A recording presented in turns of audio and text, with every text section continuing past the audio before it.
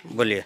मैं सुबोध यादव करहरिया पश्चिम ward number छः का सदस्य हूँ। मैं अपनी ओर से समस्त पंचायतवासी एवं देशवासियों को होली की हार्दिक शुभकामनाएँ देता हूँ।